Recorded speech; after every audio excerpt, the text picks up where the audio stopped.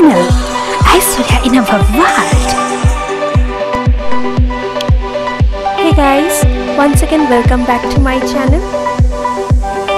I'm here to help you guys with my best subject knowledge and ideas teaching, so stay tuned to my channel.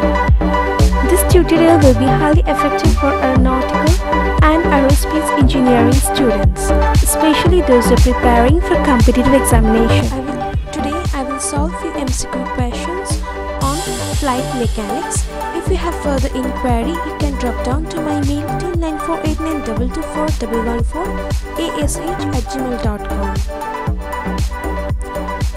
First question For an aircraft to be statically stable, the center of gravity must be ahead of aerodynamic center, after the aerodynamic center, ahead of neutral point, and after the neutral point.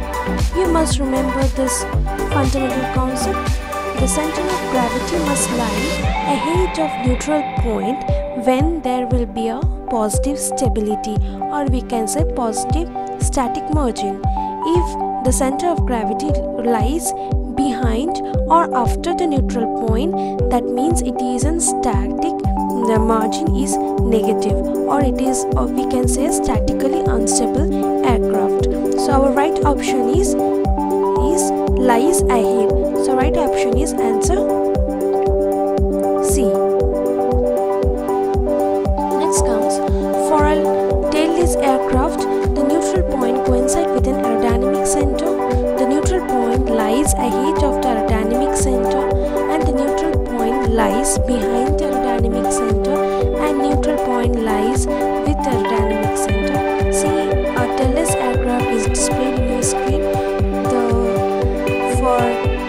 aircraft, you must remember the neutral point. That is, neutral point coincide with the aerodynamic center. So, the right answer is answer A.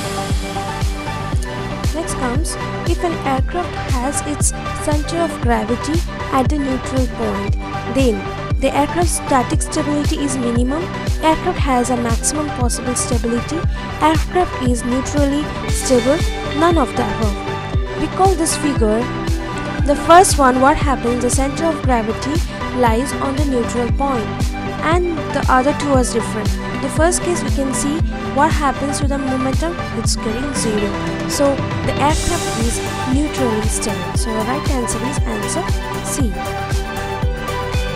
Next comes for an aircraft considering the wing alone to be destable, uh, destabilizing, the center of gravity must always be ahead of the wing of aerodynamic center, after the wing aerodynamic center, ahead of neutral point and after the neutral point. These are very very important conceptual questions. So you must remember this concept that is typically the wing alone will be negative. That is when what condition? When the dcmg by d alpha is greater than that means positive value so our right answer is answer b when the wing that means when the center of gravity lies ahead of the aerodynamic center then the aircraft is unstable or destabilizing effect. Next comes a match the following mode 1 and properties. Here we have in group 1 short period mode wing rock phugoid mode dutch roll. And the other side we have a coupled roll yaw oscillation angle of attack remains constant and the roll oscillation speed remain constant. And we have a options. Now before that let's recall the first one displayed. It is called as dutch roll see it is going yawing then again rolling yawing rolling. So dutch roll we can say it is an combination of or a coupling of an rolling and yawing movement but in case of roll uh, long period you see here what you can see the angle of attack at each instant along the flight path is essentially constant. That means for long period the angle of attack remains same and other terms the speed and altitude varies.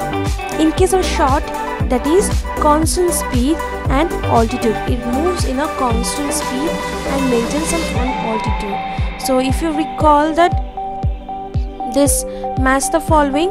So what is happening? The dutch roll is getting it's a coupling between roll and yawing uh, roll and yawing oscillation. So one uh, that is i will go one.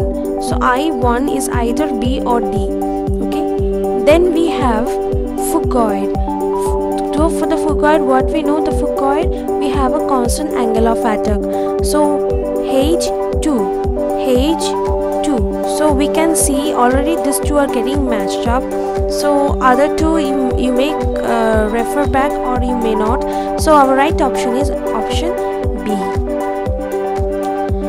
An aircraft is in state and level flight at a constant speed v it is disturbed by an symmetric vertical result in a phugoid period phugoid oscillation of time period t assuming that g is the acceleration due to gravity and given approximately by. See this is a formula. You have to for a phugoid motion you have to remember the formula. That is root 2 pi v by g and the option is option d.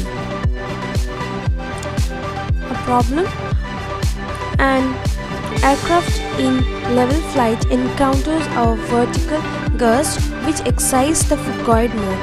The phugoid motion completes 10 cycles in 50 seconds and its amplitude reduced to half of its maximum value in 25 seconds.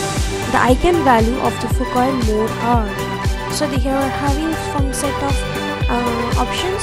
So let's move to the solution. See first what they have given. They have given the number of cycle. Display their number of cycle then they have given the half that is when reducing the time period what you get from 50 to 25 seconds now this is your general characteristic equation that is lambda equals to lambda r by plus and minus lambda i that is these are r remains for real imaginary so we have i complex item now you have to remember this formula that is t half equals to 25 second equals to 0.693 by lambda r. So from here we can find the lambda it is 0.028. From there what you can do is you check the answer question. From here we have only one option that is 0.028 of lambda r. So it's nothing but our right answer is option C.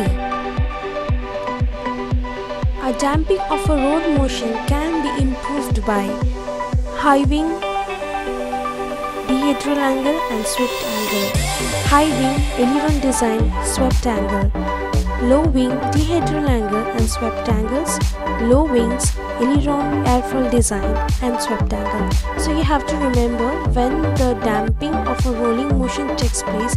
So obviously dihedral angle plays an important role. After dihedral comes a swept angle because it also increase the lift then the high angle. So it's nothing but our right answer is option A swept wing aircraft, the Dutch roll is solved by installing Frise aileron, dihedral angle, yaw damper, all of above. So you have to remember how the, there is only one way to uh, recover the Dutch roll. It's nothing but the yaw damper. That is option C.